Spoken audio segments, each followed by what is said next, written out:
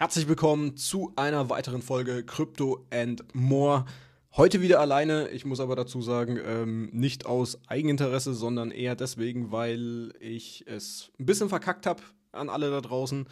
Ähm, einerseits mit den anderen Termin zu vereinbaren, also mit Benji und René. Andererseits aber auch, weil ich nächste Woche sowieso, also wenn diese Folge rauskommt, bin ich im Urlaub und ich äh, für mich eine Woche Social Media Pause dann wieder ein bisschen äh, hier reinschiebe und deswegen muss ich jetzt heute noch schnell die Folge aufnehmen, bevor es dann in den Urlaub, dann äh, in den wohlverdienten Urlaub geht und mal ein bisschen hier wieder Abstand gewonnen wird, bevor dann wirklich, äh, nachdem auch schon viele wieder gefragt haben, ja, wann beginnen denn endlich wieder Livestreams etc. pp, kommt alles dann nach meinem Urlaub. Jetzt gönnt mir noch die eine Woche Urlaub und dann äh, geht's wieder in anderen Steps los. War viel los, privat und sowas bei mir, deswegen ähm, auch einen Gang runtergeschalten und ihr wisst, äh, Vorgeschichte und sowas will ich mir nicht zu viel Stress machen. Und apropos Stress, darum soll es jetzt auch in der heutigen Folge wieder ein bisschen äh, gehen. Ich versuche immer so diese Themen hier rauszufiltern, beziehungsweise diese Themen zu machen, die mich selbst auch ein bisschen beschäftigen, wenn ich so eine Folge jetzt alleine raufmache, äh, also alleine aufnehme. Die letzte Folge kam ja sehr, sehr gut an bei euch und sowas. Ähm, auch wieder viele ähm, nachdenkliche Sachen. Und heute wollte ich mal äh, so Thema Stressbewältigung ein bisschen ansprechen. Ist ja auch so ein Thema, was äh, heutzutage bei sehr, sehr vielen ja, vorkommt, vor allem in der Generation. Nicht nur Arbeitsstress, sondern auch persö persönlicher Stress, den viele mit zu kämpfen haben. Viele wissen nicht, wie sie damit umgehen sollen. Und äh, wie gesagt, ihr kennt meine Vorgeschichte und seitdem achte ich da auch ein bisschen mehr darauf, wie ich mich einerseits natürlich auch gebe, andererseits aber auch, ähm, wie ich eine gute Work-Life-Balance oder versuche auch ein bisschen so äh, Stressbewältigung und sowas, ja, unterzukriegen. Beziehungsweise wie vermeidet man Stress, wie kann man damit umgehen, was gibt es so für Möglichkeiten. Und da habe ich mir ein bisschen so Gedanken gemacht und dachte mir so, ich mache jetzt mal wieder so ein bisschen eine kleine Plauderfolge, so Viertelstunde, 20 Minuten, dass ihr einerseits natürlich auch jetzt während des Urlaubs äh, mit Podcast versorgt seid. Und ja, Stressbewältigung. Was gibt es da zu sagen? Mittlerweile hört man es ja überall. Einerseits natürlich, wir hatten schon mal das Thema Generation Z. Vier Tage Woche, jeder will mehr Freizeit haben und sowas. Natürlich dann auch teilweise äh, mit weniger Arbeit verbunden. Das ist das eine. Gibt aber auch die Möglichkeit, vier Tage Woche, wo man dann sagt, okay, ähm, die gleiche Arbeitszeit nur in vier Tagen verteilt. Halte ich persönlich, ehrlich gesagt, nicht wirklich viel davon, wenn man jetzt mal von einer 40-Stunden-Woche ausgeht, dann zehn Stunden am Tag zu arbeiten finde ich einfach ehrlich gesagt ein bisschen zu viel. Und da macht man sich dann, denke ich, vielleicht sogar noch ein bisschen mehr Stress. Und Stress fängt ja nicht nur arbeitmäßig an, Stress fängt teilweise für, für den Kopf, für das eigene Gefühl schon an, wenn du früh mit einem Wecker aufstehst und das Erste, was du machst, ist ans Handy gehen, Social Media checken, was geht los. Und da fängt dein Gehirn schon an zu ackern.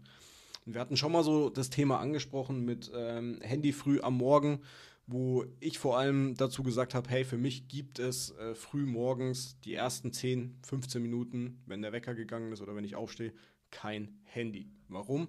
Einerseits ist es nicht gut für die Augen, was wiederum Müdigkeit ein bisschen äh, produziert, was nicht wirklich gut ist, sondern Handy weg, 10, 15 Minuten, langsam erstmal ein bisschen in den Tag starten, was trinken, vielleicht einen Kaffee. Ihr wisst, ich trinke früh keinen Kaffee mehr. Ist aber andere Geschichte. Wobei ich auch sagen muss, Mittlerweile, ich trinke wieder deutlich mehr Kaffee. Nur für alle anderen, weil ich mich ja vor, weil ich glaube ich ein halbes Jahr oder so gar keinen Kaffee getrunken habe. Mittlerweile trinke ich wieder Kaffee, aber auch erst wirklich zwei, drei Stunden, nachdem ich aufgestanden bin.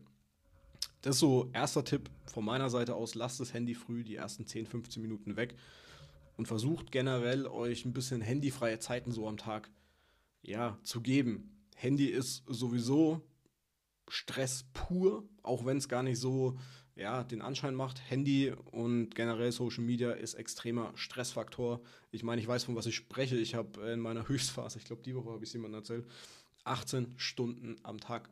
Ich glaube, ich hatte sogar mal 20 Stunden. Und das war so Durchschnitt über Wochen lang, 18 Stunden am Tag mit Handy verbracht, mit Social Media verbracht, mit PC, Laptop etc. pp.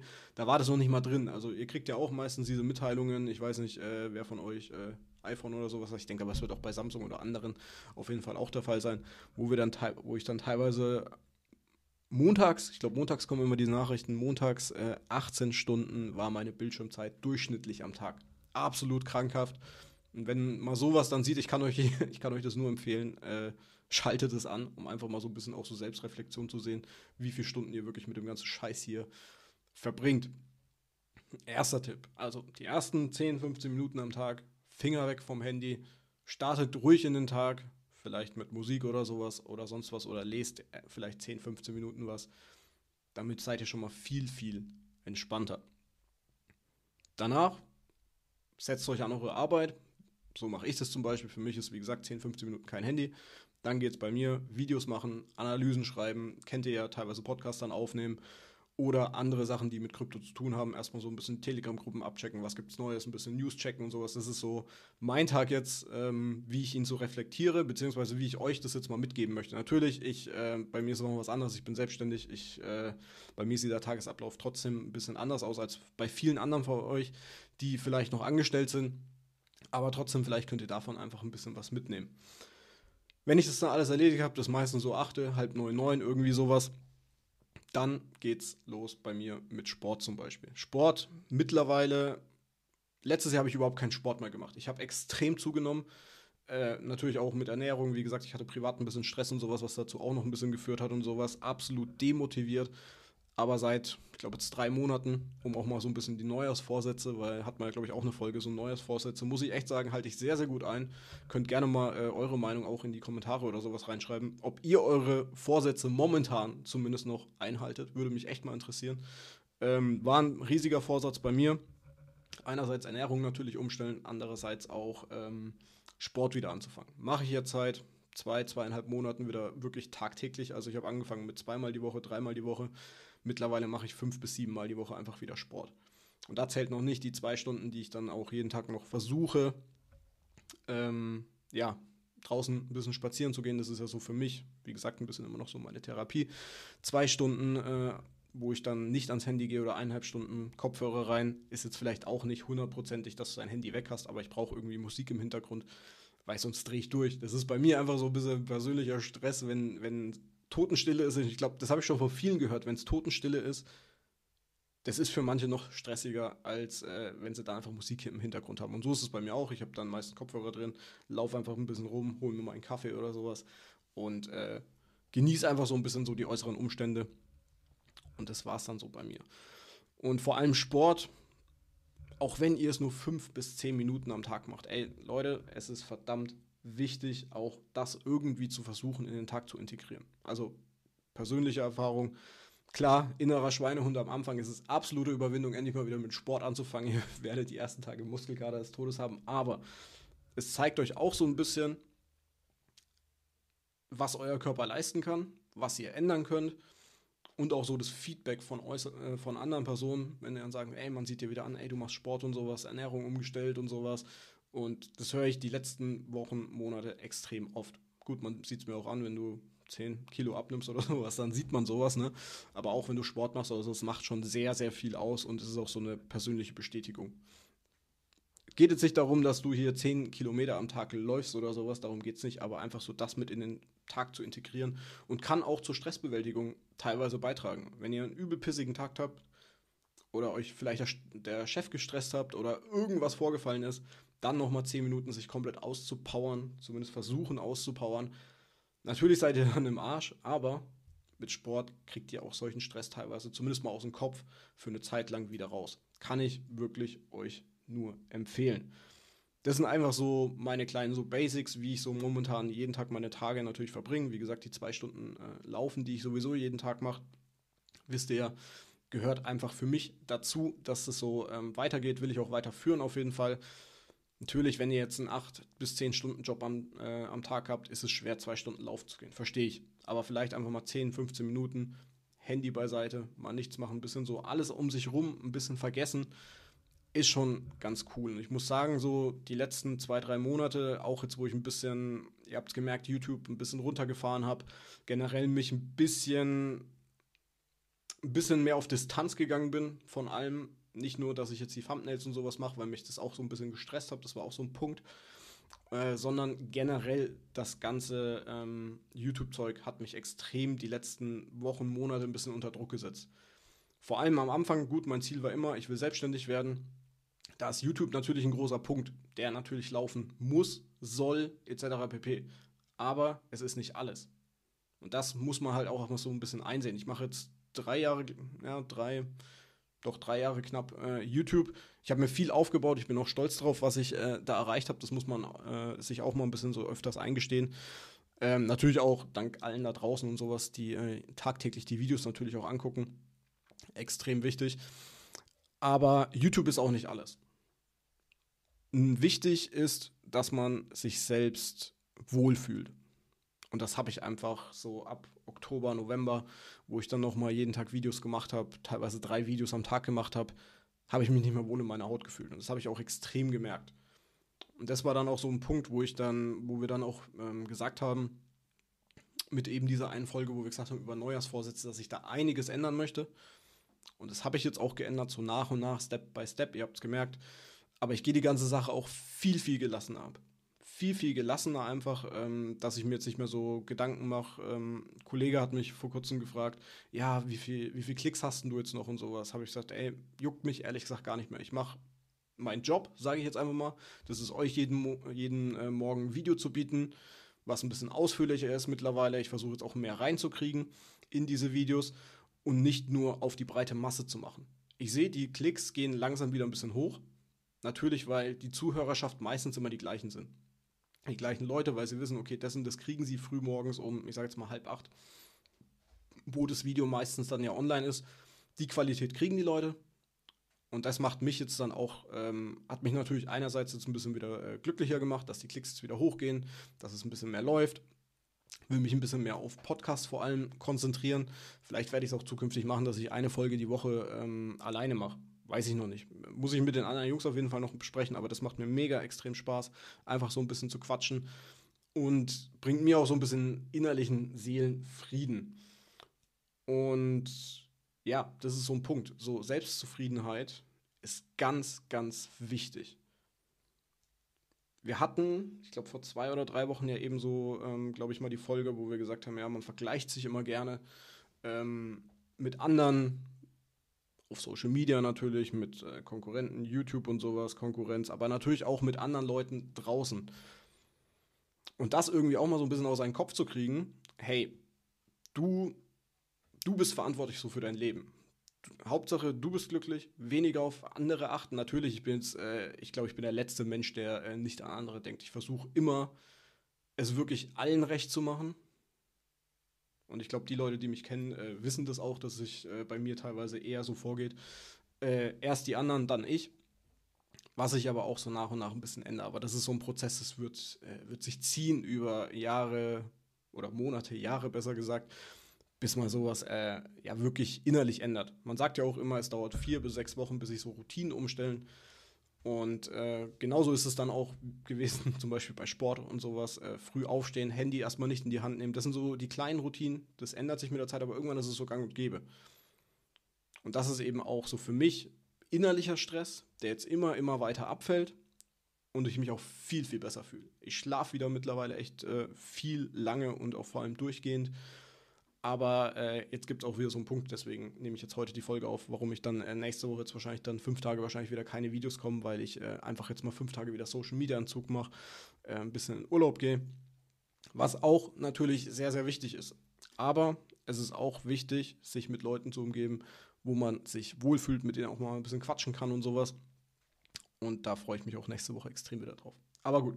Äh, Stressbewältigung, Selbstreflexion bzw. selbstglücklich sein ist ein ganz, ganz wichtiger Punkt. Und da sollte sich jeder einfach mal, keine Ahnung, 10 Minuten, 15 Minuten vielleicht mal, oder Stift und Zettel nehmen und einfach mal so draufschreiben, hey, was macht dich glücklich? Macht sich glücklich, vielleicht auch mal in die Stadt zu gehen, alleine einen Kaffee zu trinken oder sowas, mache ich zum Beispiel oft. Ist am Anfang eine mega Überwindung, kann ich echt nur jedem äh, sagen, macht's einfach auch wenn ihr komisch angeguckt werdet, hey, der hockt jetzt allein im Café oder sowas, äh, habe ich mittlerweile kein Problem mehr mit. Brauche ich aber auch Kopfhörer rein, Musik hören und leckt mich alles so gefühlt. Ne? Ähm, ich genieße jetzt hier meine Ruhe und sowas. Das sind so Sachen, ähm, die brauche ich mittlerweile auch, äh, genieße ich auch, weil vor allem, wenn du selbstständig bist und Leute um dich rum eben nicht selbstständig sind. Das heißt, alle haben ihren ganz normalen Job und sowas.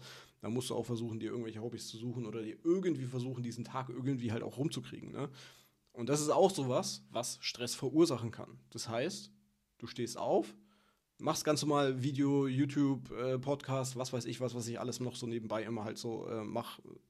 Läuft ja auch noch Agentur und sowas, äh, was jetzt nach und nach aufgebaut wird. Habe ich, glaube ich, noch nie erzählt, aber kommt auch noch eine nebenbei und äh, Richtung Sommer kommt ja auch noch ein kleines Projekt von mir, was nebenbei dann auch noch äh, gestaltet wird.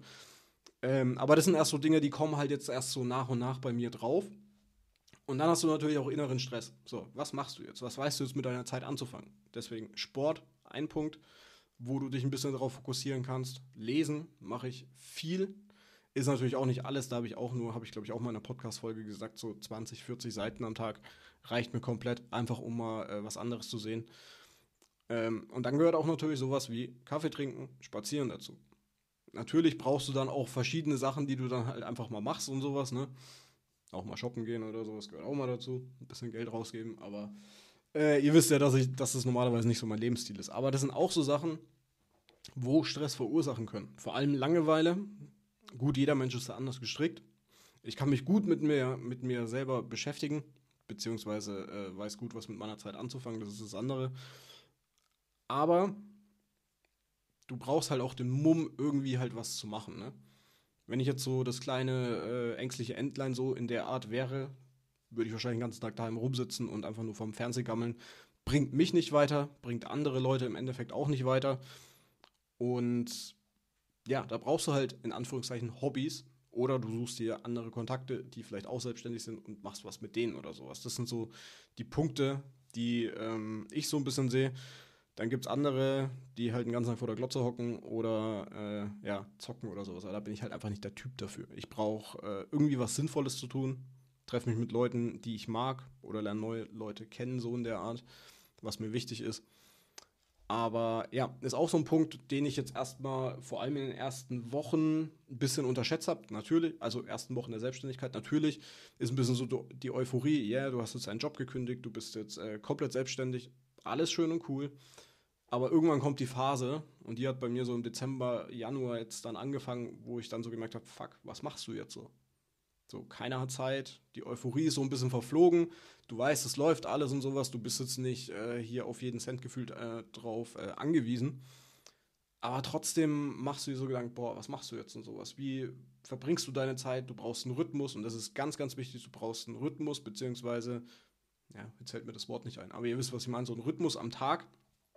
Äh, Routine, so, Routine. Routine hatten wir auch schon mal eine Folge dazu. Äh, du brauchst Routine, damit du so deinen Tag ein bisschen gestalten kannst. Routinen sind meiner Meinung nach das A und O, um, sage ich mal, ähm, nicht in irgendein Loch zu fallen.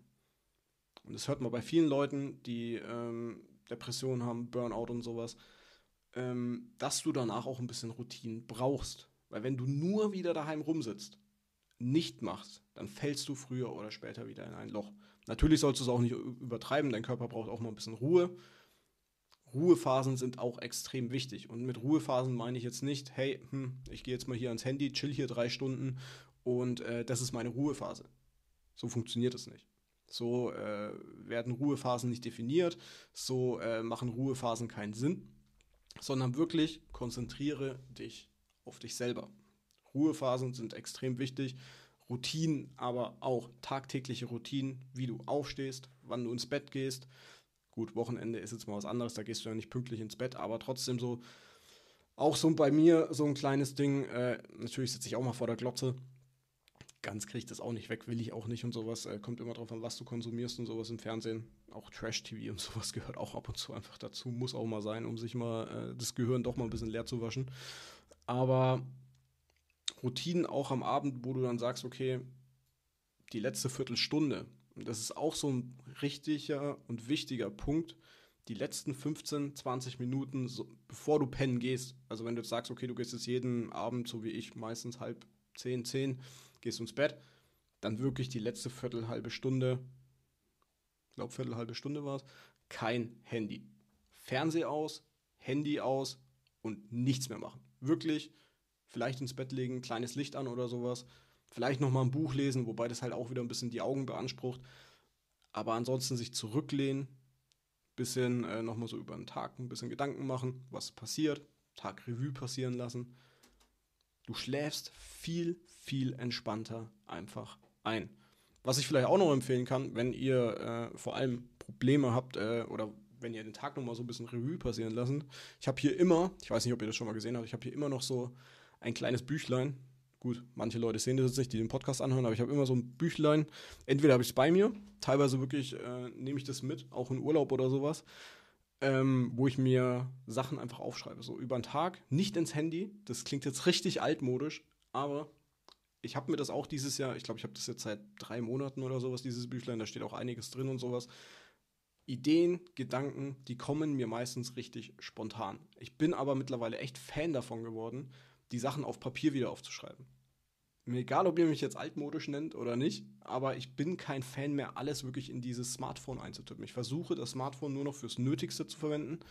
Natürlich gehört da ähm, blöde TikTok und was weiß ich was auch noch dazu. Die Apps gibt es noch, weil ich sie auch beruflich natürlich nutzen muss, um die äh, Podcast-Folgen und sowas natürlich da auch hochzuladen. Aber ähm, ich bin da ein bisschen abgekehrt. Nennt mich alt, nennt mich altmodisch, ist mir egal. Aber ähm, es tut richtig gut, auch mal solche Sachen wieder in solche Bücher reinzuschreiben. Also in so ein kleines Buch. Ich denke, die, Dinger kosten 5 Euro oder sowas. Das ist jetzt kein Riesengeld, ne?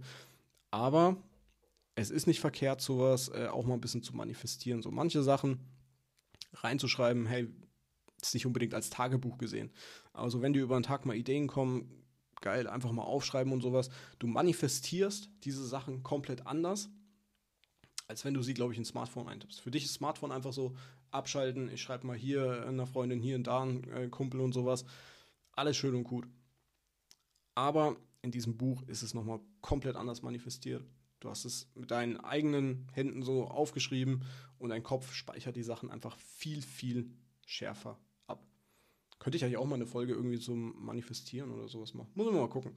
Wird auf jeden Fall öfters mal äh, Folgen alleine geben, weil mir, mir macht es einfach richtig Bock, hier einfach ein bisschen äh, von der Seele zu reden, beziehungsweise auch mal ein bisschen zu quatschen hier mit euch. Oder mit mir selber, gefühlt wohl eher. Ja, das ist eigentlich so ein bisschen so mein Tag. So Stressbewältigung. Wie gesagt, Sport, Handy weg, spazieren, raus an die frische Luft. Vor allem jetzt in dieser Jahreszeit, so nach dem kalten Winter, wenn ihr kaum rausgeht, wirklich meistens in der Bude hockt, geht raus, nutzt diese Sonnenstrahlen. Es ist scheißegal, ob es wirklich arschkalt ist draußen. Nutzt die frische Luft, geht eine halbe Stunde raus. Viertelstunde, wenn die Sonne scheint und sowas. Und nehmt dieses Vitamin D einfach von der Sonne ein bisschen auf. Es macht euch viel, viel wacher, es macht euch viel, viel fitter. Und wenn ihr dann noch einen gesunden, ruhigen Schlaf habt und einfach mal ein bisschen abschalten konntet, ist das wirklich das Geilste, was ihr machen könnt, wo ihr auch entweder den Tag startet oder damit euren Tag natürlich abschließt, wenn ihr ganz normal arbeiten geht. Ja, das sind so ein bisschen so meine Tipps gewesen, wie ich jetzt so, wie so mein Tagesablauf eigentlich so ein bisschen abläuft. So Selbstständigkeit natürlich auch, auch so wie nach der ganzen Geschichte mit Burnout und so ein bisschen umgehe. Da achte ich einfach viel, viel mehr auf mich selber. Und ich glaube, das ist so ein Punkt, das machen einfach heutzutage viel, viel zu wenig Menschen. Natürlich, wenn ihr geht, geht mal auf äh, Instagram, äh, schaut euch mal fünf solche äh, Fotos oder Videos an von irgendwelchen äh, ja, Gurus oder anderen Sachen. Ja, manifestier das äh, und dann liest du hier äh, fünf kurze Sätze von irgendeinem Guru, der dir sagt, ja, das und das und das und das. Oh, jetzt bin ich aber tiefenentspannt. So funktioniert es nicht. So wird es nicht funktionieren, nur weil ihr irgendwas auf Instagram liked oder auf äh, TikTok geliked habt, weil euch irgendjemand gesagt hat, ja, du musst das und das machen, äh, du liest jetzt diesen Satz und schon geht es dir besser. Das ist vielleicht ein kleiner Startschuss, aber im Endeffekt habt ihr es alle selber in der Hand. Jeder hat sein Leben selbst in der Hand. Jeder muss, sollte die beste Version aus sich selber machen. Jeder sollte innerlichen Frieden finden. Jeder sollte versuchen, so wenig Stress wie möglich machen, auch wenn es auf der Arbeit mal stressig ist. Nehmt euch auch da mal fünf Minuten einfach, wo ihr sagt, boah, ich will jetzt nichts von Arbeit wissen. Nichts, gar nichts. Lasst mir mal fünf Minuten meinen Frieden. Habe ich früher auch gemacht. Muss auch mal sein. Äh, egal wie der andere Leute reagieren, ist scheißegal. Aber das Wichtige ist, Stress, wenn du diesen vermeidest, vermeidest du auch Krankheit. Und mit Krankheit zu spaßen, die dann wieder loszukriegen, boah, das kann dich dein ganzes Leben verfolgen. Und mit Stress fängt wirklich alles an. Wirklich alles. Wenn du dir zu viel Stress machst, dann entweder checkst du es gleich oder du verschleppst das Ganze, du machst dir noch mehr Stress, dann hilfst du noch Kollegen, dann bist du vielleicht so ein Mensch wie ich, wo sagt, ey, nee, andere Freunde gehen vor zum Beispiel. Äh, und trotzdem hast du noch deinen Stress. Du hast deinen Ballast im Körper, beziehungsweise auch im Kopf. Das ist ja auch ganz, ganz wichtig, dieser Ballast im Kopf. Und dann wird es immer schlimmer und schlimmer und schlimmer, bis du dann möglicherweise entweder in Depression oder Burnout oder sonstigen Sachen endest. Und das will keiner. Deswegen versucht, Stress zu vermeiden, versucht dem vorzubeugen. Ein bisschen Stress muss immer sein, das ist absolut klar. Ein bisschen Stress muss immer sein in der ganzen Sache damit äh, du auch möglicherweise an ein Limit kommst. Aber dieses Limit sollte nicht auf Dauer sein. Dieses Limit sollte ein, zweimal sein, damit du so wirklich deine Limits kennst, deine Grenzen, aber nicht auf 180 die ganze Zeit laufen, weil irgendwann auch, wenn du, wenn du dein Auto ununterbrochen mit 180 äh, durchfährst und das stundenlang, weiß ich nicht, ob das wirklich gesund ist. Und dann wahrscheinlich noch im zweiten Gang oder sowas ist es absolut nicht gesund. Es geht vielleicht eine Zeit lang gut und irgendwann geht es halt einfach nicht mehr gut. Deswegen denkt ein bisschen drüber nach. Ihr könnt gerne mal eure Vorschläge, wie ihr so damit umgeht, äh, gerne mal in die Kommentare reinschreiben, gerne auch in die Telegram-Gruppe und sonst was. Und ansonsten würde ich sagen, ähm, hoffentlich hat euch die Folge gefallen. Wir hören uns dann nächste Woche auf jeden Fall wieder. Ähm, dann mit Benji und René auf jeden Fall. Heute, wie gesagt, äh, kleine Ausnahme von meiner Seite aus. Und ansonsten äh, würde ich sagen, vielen, vielen Dank fürs Zuhören. Wir hören uns nächste Woche. Ich bin jetzt heute wahrscheinlich, wenn die Folge rauskommt, bin ich wieder zu Hause. Also ich hoffe, es war ein schöner Urlaub. Wir hören uns dann morgen bei den Videos. Und ansonsten wünsche ich euch ein schönes Wochenende. Lasst es euch gut gehen. Bis dahin. Ciao, ciao. Und ja, bis zum nächsten Mal.